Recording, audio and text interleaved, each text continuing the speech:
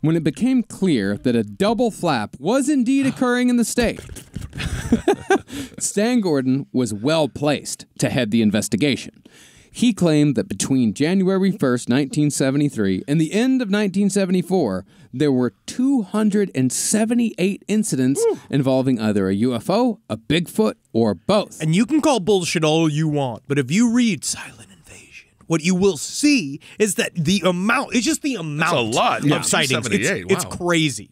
But the interesting thing is that Stan wasn't just tallying incident reports and putting a notch every time someone called up. Rather, there were 278 rather there were 278 incidents that Gordon deemed credible, with more credence given to people who previously didn't believe in UFOs or Bigfoot. Can you buy him off? Oh, he's un- unable. He's Teflon. He's already. Okay. He is hired by MUFON. All right. He knows he can't mix all these strains of money, but most of it r- really is all done out of his own pocket. Okay. Mm-hmm.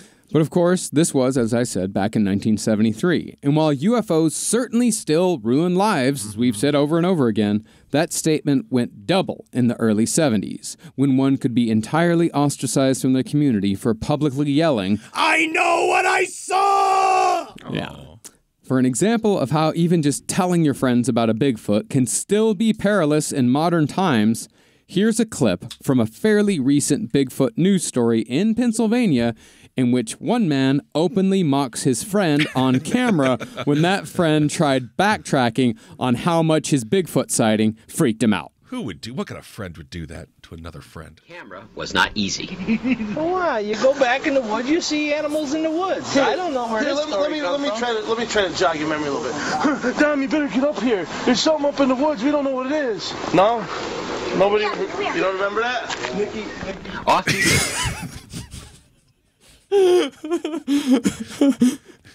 He could not experience a. s- He literally couldn't experience one moment of genuine vulnerability in front of his old buddy, which also shows that they're real old friends. Yeah. But still, Hey, man, remember that? Remember that? He was scared. He called up his buddy. He thought he could trust. Yeah, remember that when you had to throw your underwear out because you shat yourself? Remember No, that? dude, I needed you to be there for me, bro. And the guy who was telling the story, he just walks away in the middle of the interview, just You walks die. away. Whatever. And the guy making fun of him is a cop that is, no shit, 350 pounds. Easily. Yep. Good for him. Well, interestingly, the Bigfoot did not just suddenly appear in Pennsylvania in 1973. Mm. As it is with most of the heavily wooded areas of North America, sightings of the Pennsylvania Bigfoot date back to the 1800s, when human settlements began encroaching on previously undisturbed wilderness. Hmm. In one report from 1859, printed in the book Bigfoot in Pennsylvania, which was sent to us by fans Amanda and Zach, oh. A quote, thing like a man, but hairy as a bear, was seen in a cow pen, quote, sucking the cows. See? 'Cause- and that's the most human of all because he saw a thing Yeah. that looked like a tit. Mm-hmm. And he went right in there. He knew because no one would judge him like they Right. judge us. No one, no one eats udder, right?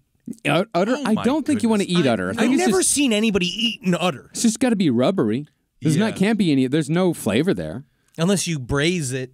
That's Oh, for a braise it, whole huh? different show. That's a whole different show. And also, we don't have any cows. We have we have some bulls though. Yeah. Oh, it's all this milk. Look at all this mm. milk. Yeah.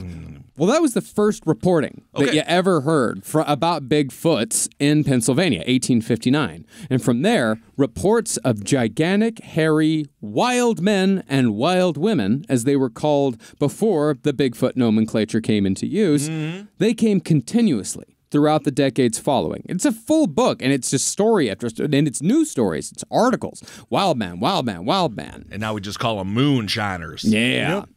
But concerning the double flap of 1973, it is interesting to note that the UFOs came before the Bigfoots. Oh. This is a real mixture, and, and that's what I love about this entire story is that mm-hmm. it is a genuine like, w- and we'll keep unpacking why, like why is it like this? But they, it's they're all right on top of each other. Well, there's a very interesting cause and effect in play it here. But therefore, one must ask a simple question. Yes. Were the Bigfoots piloting the UFOs themselves, hmm. or were the Bigfoots introduced by the UFOs hmm. into the wilds of Pennsylvania as an experiment, hmm. like putting a scorpion in a shoebox with a frog just to see how the frog handles it. The frog would do absolutely fantastic. Chewbacca reminds me of Chewbacca. What? Uh, sure, sure, sure. Honestly, just let him have this. Let him have Piloting this. an aircraft. Well, I feel like is that that's one conversation because, but what you're talking about is a fairly materialistic version of this. He's a material right? girl. We're going to get into the interdimensionality of this later on. Don't you worry, my friend. Because it also could just be clouds of electrons, dog. Mm-hmm. All right, and you got cold fusion. Like that's natural cold fusion is what we're seeing, and we're going to get mm. into it. Or could it be that the UFO sightings introduced the idea of the paranormal to the area, and it wasn't too long of a leap, and it wasn't too far of a leap between UFO sightings and Bigfoot encounters? Now, these, of course, are the central questions of this episode. But All I right, there actually feel go. like the two experiences, as we see in the accounts, are wholly different.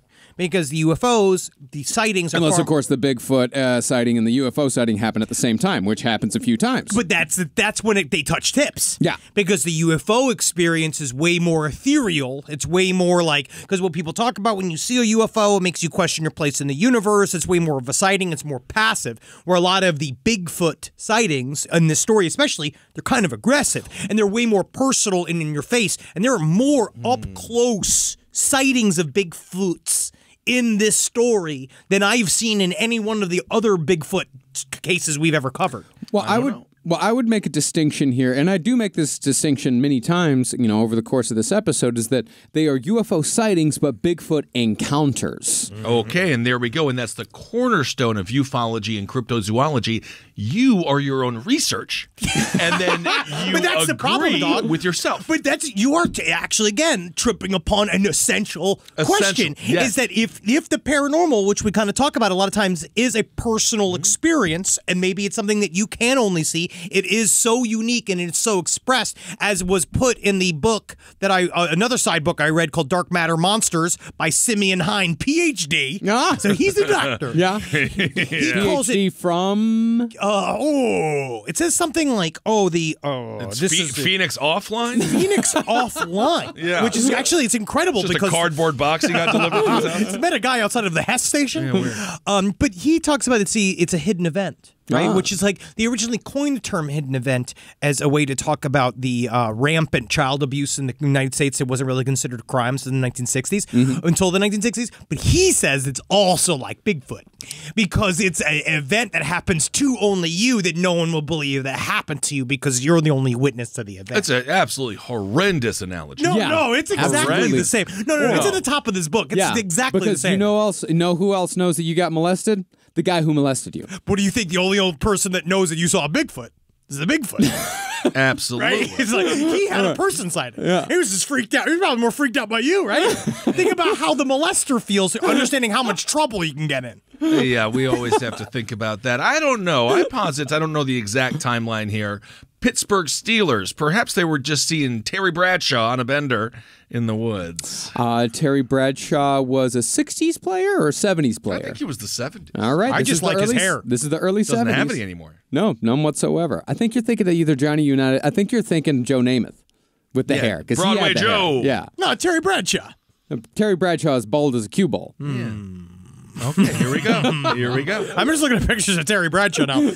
He might be the Pennsylvania Bigfoot. He might but he's only six foot three. There's also, speaking of what I know, what I saw, he was hammered one time on Jay Leno, dressed in a Santa suit, going through a divorce, openly crying because he hadn't stopped drinking yet. And I cannot find the episode anywhere. Then they scrubbed it. I That's think I know what have- I saw. They might have scrubbed it. yeah, it was really Actually, sad. he was at his height in 1974, but I feel like that would have made him to the Pennsylvania public. He would have been like, like, he'd be like, "Oh my God, it's Terry Bradshaw! Terry Bradshaw. oh my God, it's Terry Yes, get over it. Like they would freak out. Yeah. Okay.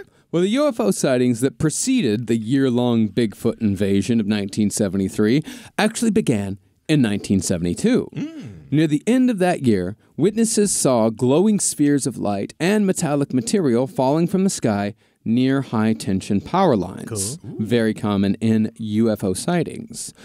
Wakufasug collected these samples. It's fucking acronym, man. Really nailed it. I use that acronym No, because I I'm like not it. going to say the fucking Westmoreland County No. UFO Society Underground. No one would. No one would. And you can't say the WUC UFO SUG. No. That doesn't make any sense. In no it's way, Wakufasug. in no way would you ever be long-winded during our the Pennsylvania UFO Bigfoot invasion of 1973 episode.